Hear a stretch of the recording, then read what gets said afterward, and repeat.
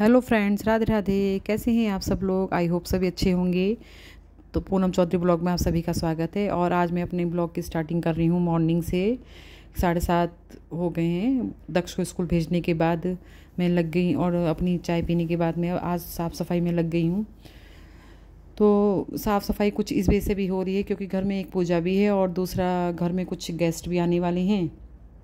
तो कुछ खास गेस्ट आने वाले हैं। तो इसलिए मैं थोड़ी साफ़ सफ़ाई में लग गई हूँ। वैसे तो बड़े लेवल पे सफ़ाई तो पूज, अब दिवाली के टाइम पे ही होगी और थोड़ी थोड़ी तो मैं वैसे भी करती रहती हूँ। तो आज थोड़ा और ठीक से कर देती हूँ। तो मम्मी मैं लग गए हैं थोड़ी सफ़ाई में। मम्मी मेरी थोड़ी हेल्प करा रही हैं। तो अब मैं सफ़ाई में सुबह सुबह हो जाती है तो ठीक रहता नहीं तो दोपहर में बहुत गर्मी लगती है।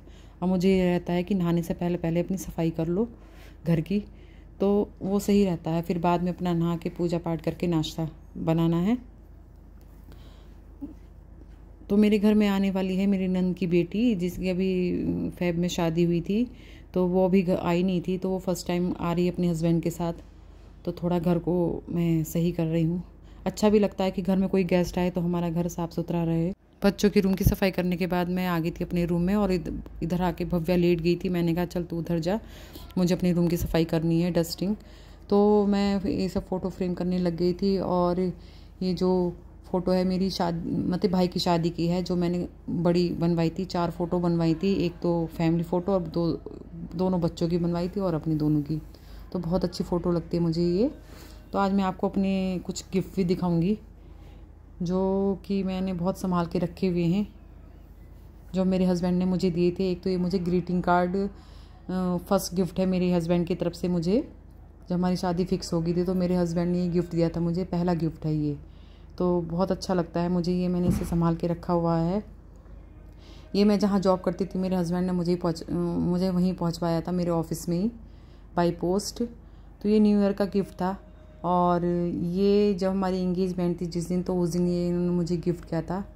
अपना अपने ही फ़ोटो बना के दिए थे ये कलर फ़ोटो प्रिंट निकाल के। तो ये भी मुझे बहुत अच्छा लगता है। ये ज़रा यहाँ से लूज़ हो गया, अब लगता नहीं पर मैं इसको लगा के रखती हूँ यहाँ। फिर मैं लग गई थी डस्टिंग करने के बाद मैं नहा के पूजा करके नाश्ता बनाने लग गई। आज मैंने नाश्ते में कुछ स्पेशल बनाया पहली बार, पपीते के पराठे बनाए। क्योंकि मैंने कई लोगों से सुना था कि पपीते के पराठे बहुत टेस्टी लगते हैं और हेल्दी भी होते हैं। और आजकल जैसे डेंगू चल रहा है तो डॉक्टर भी ज़्यादा से ज़्यादा पपीता खाने के लिए बोल रहे हैं। तो फिर मैंने आज पपीते के पराठे ट्राई करे। जो कि सबको बहुत पसंद आए, ऐसे ही बनते हैं, जैसे मूली के पराठे बनते हैं।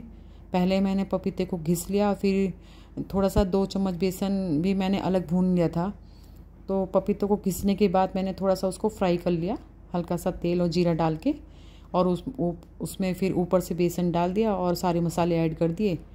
फिर उसको ठंडा करके, बस जैसे मूली के पराठे बनते हैं, भर के, फिर मैंने वो बनाए तो सबको बहुत अच्छे लगे। मैंने कहा, चलो ट्राई कर ट्राई करते हैं हम भी, कि भाई कैसे लगते हैं। तो मुझे मूली के पराठे से अच्छे लगे। फिर भव्या से भी मैंने बोला कि, चलो चाय बना ले। थक गई थी काफ़ी, साढ़े दस बज गए थे मुझे ये सब काम करते करते तो भूख भी लग रही थी तो भव्या को चाय के लिए बोला। फिर हम पराठे बनाने के बाद हम दोनों ने नाश्ता किया। तो पराठे तो वैसे भरवा पराठे तो सभी अच्छे लगते हैं। वैसे मूली के पराठे मुझे इतने अच्छे नहीं लगते, पर ये है कि अगर मूली को भी भून के बनाओ तो उसमें महक नहीं आएगी। तो अब भव्या बना रही है चाय। जब भव्या घर पे रहती है और मैं काम को मेरा लेट हो जाता है तो चाय मैं इससे ही बनवाती हूँ कि चल चाय बना दे, फिर दोनों नाश्ता करेंगे। तो भव्या को मैंने चाय बनाने के लिए बोल दिया कि चलो भाई चाय बनाओ। बाकी सबको नाश्ता करा दिया था मम्मी पापा सबने नाश्ता कर लिया था। हम दोनों ही रह रहे थे तो फिर अब चाय बनती है। और आज तो मैं वैसे भी फुल डे बिज़ी रहने वाली हूँ, क्योंकि मुझे बहुत ज़्यादा काम है और मार्केट के काम भी हैं। तो फिर पूरा दिन बिज़ी रहना है आज।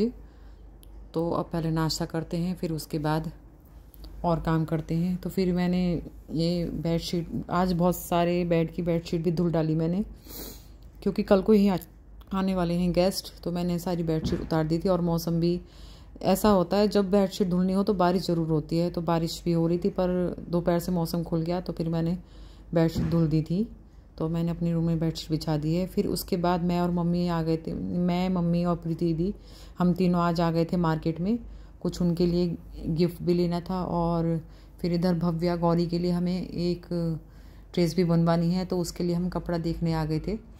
और ये सूट जो है प्रीति दीदी को बहुत ज़्यादा पसंद आ रहा था। उनको ये वाली शॉप जो है ना, दीदी को नहीं पता थी तो फिर मैंने उन्हें बताई आज कि यहाँ पे कट पीस और जैसे कि कपड़ा लेना हो किसी भी चीज़ का, जैसे सूट बना अनस्टिच कपड़ा सूट बनवाना हो तो यहाँ हर तरह का कपड़ा मिलता है और बहुत अच्छे मिल जाता है। तो सूट भी सही रेट में थे यहाँ, अच्छे सूट थे।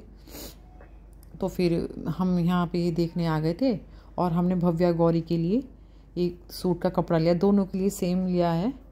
वो आपको बाद में दिखेगा। तो दीदी को ये सूट पसंद आ रहा था तो उन्होंने ये सूट भी लिया है।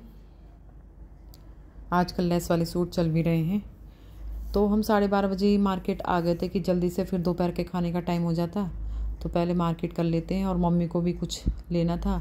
तो आज हम तीनों देवरानी, जिठानी और सासू माँ तीनों मार्केट आए थे। बहुत कम ऐसा होता है कि हम तीनों एक साथ मार्केट आएँ, क्योंकि घर पे किसी ना किसी का रहना ज़रूरी होता है। घर पे कभी दूध वाला, कभी कोई कोई ना कोई ना कोई आता रहता है तो हम तीनों में से एक ना एक तो घर पे रहता ही है। मम्मी तो ज़रूर रहती हैं तो आज मम्मी भी हमारे साथ आ गई थी। साफ़ सफ़ाई करने के बाद और बेडशीट बिछा दी थी मैंने तो मेरा रूम कुछ इस तरह का लग रहा था आज। सब सामान अपनी जगह सेट था तो सही लग रहा था। तो और अभी बाहर की सफ़ाई और रह रही है, वो मॉर्निंग में कर दूँगी। और डाइनिंग टेबल साफ़ करनी है सुबह के लिए। अब देखो डाइनिंग टेबल पर, मेरी डाइनिंग टेबल पर सामान हमेशा इतना ही भरा रहता है। मैं कितना ही रखती रहूँ, पर इस पर पानी की बोतलें, खाने पीने का सामान, ये रहता ही है। अब ये करूँगी मैं सुबह ही। सबसे पहले उठ के इसको ही करनी है मुझे। और ड्राइंग रूम की और बेडशीट रह गई, सिर्फ़ वही रह गई, बाकी तो मैंने सब धुल डाली हैं। तो सुबह उठ के पहले इसका कवर चेंज करूँगी। बच्चों के रूम की भी बेडशीट बदल डाली है चेंज कर दी।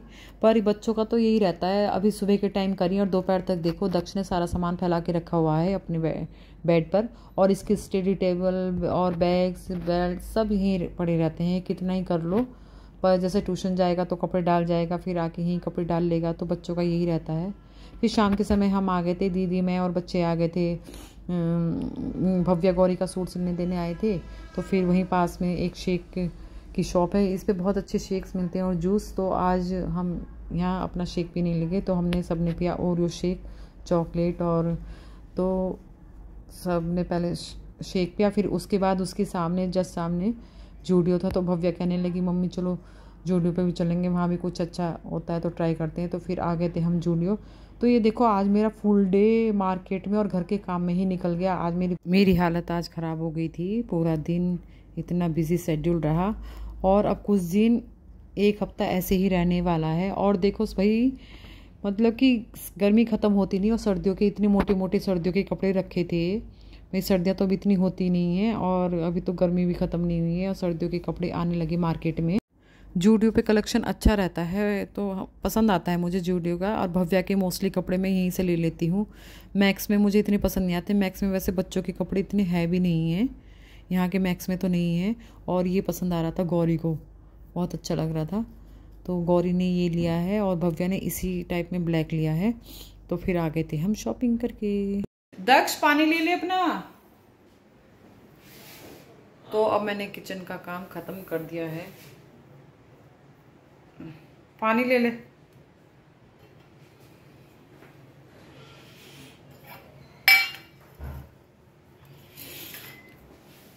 मैं मार्केट से पौने नौ बजे आई थी और फिर जल्दी से आके दाल में तड़का लगाया और फिर आटा गूंद के फिर एकदम से रोटी बनाई और सबको खाना दिया। फिर उसके बाद किचन का काम, किचन की सफ़ाई करना। देखो, सारी किचन साफ़ कर दिए और इधर बादाम भिगो के रख दिए हैं। जो मेरा डेली का काम है और किशमिश भी भिगो के रखी हैं बच्चों के लिए। इधर ही पानी रखा है और ये सुबह के लिए राजमा भिगो दिया है। सुबह को बनेगा राजमा